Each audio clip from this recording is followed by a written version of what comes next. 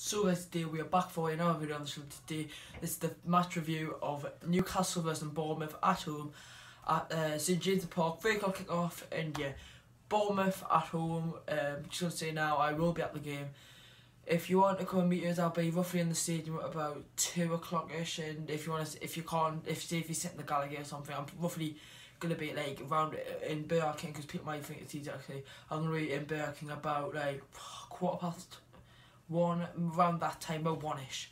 But yeah, anyways, for this match preview, we're gonna be talking about um, New um, Newcastle, um, obviously Bournemouth, the league table, and the team I want to see Rafa play. But yeah, let's get into it, and we're gonna talk about the league table. So, the league table, how it looks: Newcastle at ninth.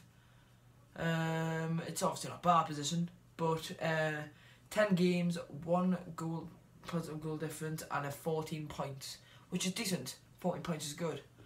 But look at Bournemouth. 10 point, no, 10 games, minus 8 goal difference, 7 points, 7 points. So if Bournemouth even draw this game, they could go out relegation zone. If they win this game, they'll most likely go out relegation zone. Because if they win this game, they can go to 16. But look at the table. Bournemouth, we should be beating them at home. We've, we've only lost to Tottenham at home and drew to Liverpool at home. All, all the other games we have won. And obviously apart from that, including Nottingham Forest, I mean in, in, the league. But if we go up, uh, we're going to talk about Bournemouth fixtures. Last three games, they beat Stoke 2-1 away. Crap. And then they won Middlesbrough in the EFL Cup, Carabao Cup, whatever you want to call it, in the fourth round, and then got beat to Chelsea so looking after that, only losing Chelsea 1 0 is not even a bad result. I'm a bit scared for this game a little bit because it's Bournemouth. They've got some decent players, Jermaine Defoe. It's going to be scary, but I'm still going in positive. Um, from looking there, beating Stoke away is a great result. Uh, they got beat from Tottenham 1 0 as well. From looking at the table, we should be beating Bournemouth. So Newcastle's last three games. Southampton 2-2, Palace 1-0, Burnley 1-0. So we drew to Southampton 2-2, we beat Crystal Palace 1-0, and we lost to Burnley 1-0. And I, I, don't know why, but away from home, we look shocking. Honest to God, we look shocking. What about home? Like, wait, we're going to win this game. We've got the Gallowgate flags behind me. We want to win this. Away from home, we just don't do it. I don't get it.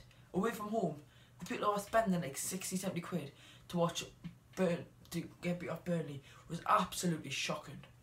But it's oh, it's a tricky game to play. But our last three games, we have got four points out of nine, which obviously isn't good. But yeah, uh, at the minute, I'm still going positive to this game. So this is the team that I think uh, I uh, this team I want to play. So in goal Elliot, done that wrong. Right back Yedlin, left back Manquillo. Manquillo was a bit of a fault into the Burnley goal, but the main one was Florian Lejeune. He's not going to be in the squad. He can't be. He seems he can't be. Clark and Lascelles, centre backs. Them two holding the midfield, not midfield, defence. Sorry, two centre mids. I feel like he will have to play Hayden and Shelvey. Merino could still be injured. He can't play Diame. Diame is just him in the bin. He's not good enough. Right mid Ritchie, left mid Atsu, Cam Perez, and striker. I feel like he will play Joselu, and I feel like Joselu can't shoot. He can't shoot at all. I don't know what it is about him. And where's Meatball again? Meatball not on the bench. I'm sick to death of not seeing Meatball. If Meatball not on, on the bench against Bournemouth, you could tell Rafa's lofty confidence, with him.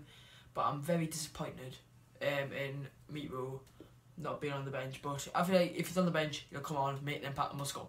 But, anyways, one quick thing I want to say is it's coming to uh, Remembrance Day, and this will be the final home game since you can wear your well right at the, wear your badges. So I've obviously got mine. This is mine off last year, um, just to stand up with Newcastle.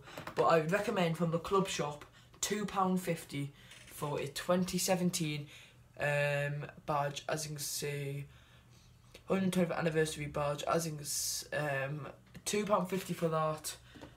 Um, I think I can't buy that one, but I'm gonna be on both of these.